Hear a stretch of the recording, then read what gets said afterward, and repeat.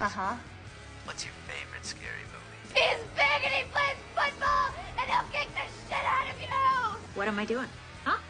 Huh? What am I doing? If I'm right about this, I could save a man's life. Do you know what that could do for my book sales? No, please don't kill me, Mr. Ghostface. I want to be in the sequel. Never, ever, ever, under any circumstances, say, I'll be right back. Because you won't be back. What's the matter, Sidney? You look like you've seen a ghost. My mom and dad are gonna be